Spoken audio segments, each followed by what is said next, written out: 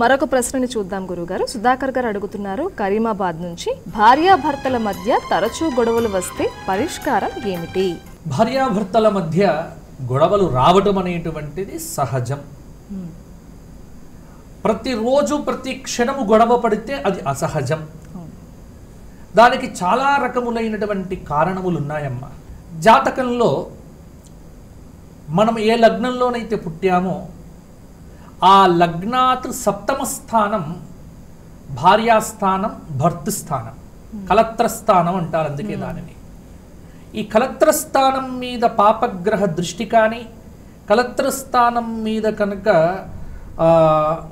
పాపగ్రహాలు పడటం కానీ రాహువు కానీ కేతువు కానీ లేకపోతే శనైశ్చరుడు లేకపోతే క్రూర గ్రహముల యొక్క కలయిక ఇటువంటివి ఏవైనా ఉన్నట్లయితే దాంపత్య జీవనం అనేటువంటిది కొంత అసహజంగా ఉంటుంది.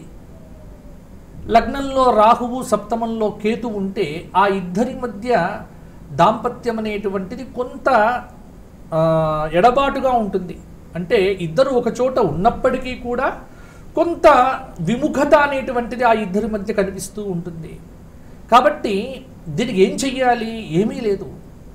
అర్ధనారీశ్వర స్తోత్రపారాయణం చెయ్యాలి అర్ధనారీశ్వర స్తోత్ర పారాయణం ఎవరైతే ప్రతిరోజు చేస్తారో నమ శివాభ్యాం నవయవ్వనాభ్యాం పరస్పరాశ్లిష్ట వపుర్ధరాభ్యాం నగేంద్ర కన్యాం వృషకేతనాభ్యాం నమో నమ శంకర పార్వతీభ్యాం.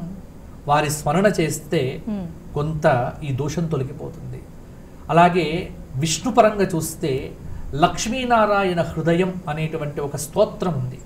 ఈ స్తోత్ర పారాయణం చేయాలి. భార్యాభర్తలు ఇద్దరు కలిసి కూర్చొని చేస్తే చాలా వరకు బాగుంటుంది. ఇంకొక సలహా కూడా ఇస్తున్నాను. చాలామందికి తెలియని రహస్యం. దీనికి శాస్త్ర ప్రమాణం అంటూ ఏమీ లేదు. కానీ పెద్దలంతా తమ ఉపాసనా పరంగా మాకు చెప్పినటువంటి మాటలు. కొన్ని గ్రంథాల్లో కూడా మేము చదవడం జరిగింది. దీనికి శాస్త్రంలో ఇలా పెట్టుకోమని ఎక్కడ కూడా లేదు.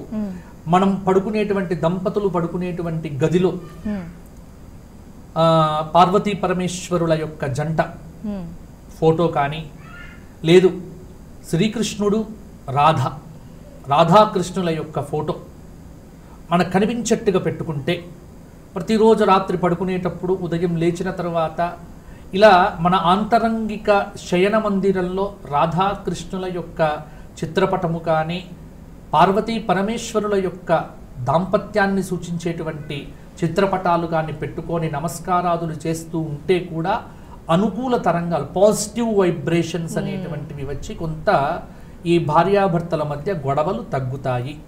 కావున ఇవన్నీ కూడా దైవపరంగా చెప్పినటువంటివే.